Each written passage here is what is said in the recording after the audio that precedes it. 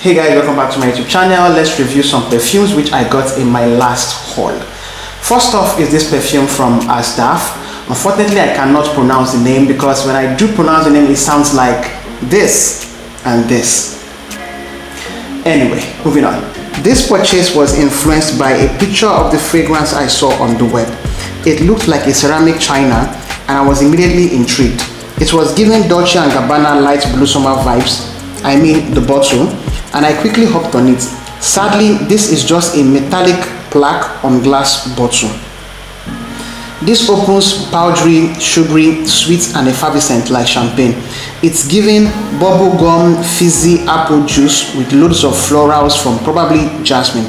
You don't have to wait too long before the woody medicinal component of Baccarat Rouge 540 kicks in and lingers for the major part of the perfume's longevity.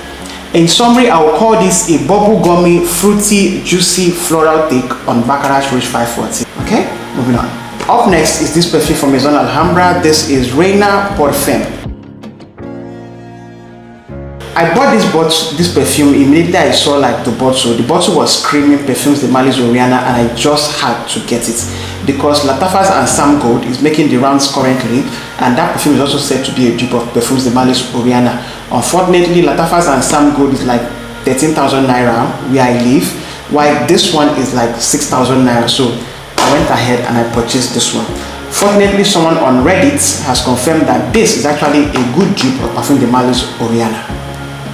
This is a super soapy plasticky scent and it stays so till the perfume fizzles out. It is also somewhat spicy, musky, fruity and powdery. I get a soapy plasticky orange blossom in the opening that reminds me a lot of La Vie est Belle Eclat and La Vie est Belle Intensement. Sometimes this perfume smells like licorice infused lemon baked goodies aka pink sugar and sometimes when the what and sometimes when what I suspect to be raspberry kicks in, I get a lot of Mousuf Wardi, which is supposed to be like a group of Angel Nova by Thierry Mugler. This perfume is not giving what I expected it to give, and I'm hoping that in two months' time it would like, you know, start giving me something really to work with because right now it's just giving me soap and plastic as the major vibe from the perfume really, and I don't I don't, I don't vibe with that to be honest. So let's wait two months and see how well this changes hopefully for the better. Moving on. So up next what i have here is al dirgham limited edition by ad azafran. I've been wanting to get this scent for quite a while now but after watching thomas lincent's review where he compared this with Mezcal, also by ad azafran he said that both perfumes are kind of like the same is it scent profile or genre and he, he feels you don't need one if you have the other one so i skipped it but recently aromatics has been hyping this as a very very good alternative to chanel's allure homme sports and i've been dying to try that perfume so i went ahead and got it sadly this was a letdown for me. Not it smells nice but based on the type of scent that i like to wear i might have to like grow into wearing this perfume because it's just not my regular type of scent if you get what i mean this is a fresh, spicy, herbal, aquatic, woody, citrusy perfume with loads of pineapple in the opening. It reminds me a lot of Aventus by Fragrance World without the pineapple overdose. The astringent herbal vibes also screams autobiography supernova by Paris Corner. Herbal scents, especially when they are this level of herbal, are just not my thing at all. Performance isn't great compared to what most reviewers have said, but hopefully things will change after two months. I did get a loud compliment when wearing this scent, but unfortunately on that day I also had on five sprays of um, Lattafa's Ishq Ashiyub Gold, which is supposed to be a dupe of Rosendo Mateu's number five. So I don't know whether the compliment was coming from Al Dirgham limited edition or from Lattafa's Ishq Ashiyub Good. But then again, I think it was coming from Al Dirgham because I went really, I went like crazy on the spray that day because like I said, the performance is not that great. Anyway, after two months, I will test it again and see whether I get the same level of compliments or not.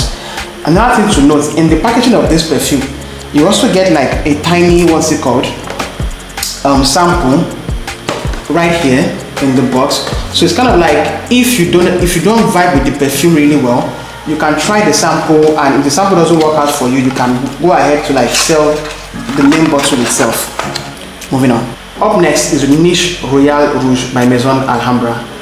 This is supposed to be a dupe of Armani Privé's Rouge Malachite. I've had the perfume oil for the longest time and it is a beast. I actually bought this out of curiosity to see if it was actually duping Rouge Malachite and it is, though the perfume oil beats it totally in performance. This opens bitter, sweet, woodsy and powdery with lots of jasmine.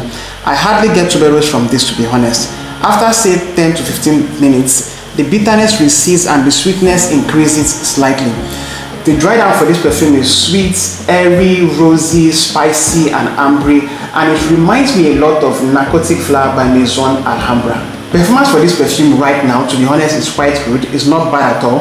I get like 2 hours of active projection and 9 hours of longevity on my skin. Sillage is to die for in the sense that when I walk out of a room and walk back into that room after say like 3 to 5 minutes, I can smell the perfume hanging in the air even up to the 4th hour. Sillage on point. The last perfume that I have here is Niche Royal Vert and this is supposed to be a dupe of Armani Privé's Vert Malachite. And I have to say that this actually smells a bit similar to Armani Privé's Rouge Malachite but there are some differences with the perfume.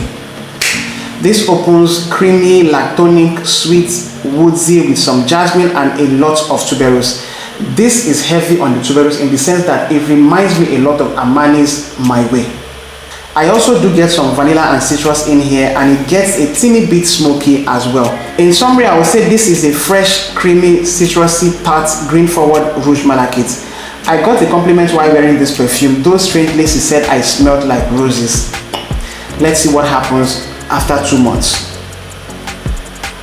So in a nutshell, this is the perfume that I just got in my last haul. I hope to revisit these perfumes after two months and I will update you guys on the longevity, performance and scent profile if the scent profile changes or not.